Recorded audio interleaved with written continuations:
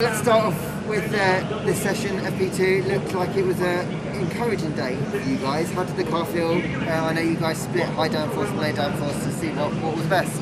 Yeah, um, I think the car is feeling good. I think we have good potential for the weekend.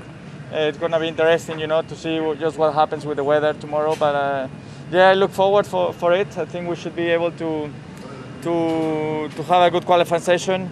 Uh, we got plenty of information from today, um, and yeah, we just have to pick up the best bits for tomorrow and, and make sure that we are able to to have a strong quali. What do you think you're leaning towards in terms of setup? Because with the weather, I guess you don't want to go too far too far low downforce. Uh, yeah, it's obviously in the back of our minds, uh, the weather, but uh, uh, I think we, we, we just have to analyze, see, and pick up our bits uh, for tomorrow. Traditionally, it's been a bit of a tougher circuit for Red Bull, but do you think you're going to be very much in the fight with Mercedes for the win this weekend? Yeah, I think so. I think we, we got some, some good pace out there, and uh, it's going to be interesting to see tomorrow when everyone put, pulls, pulls it together where we are at.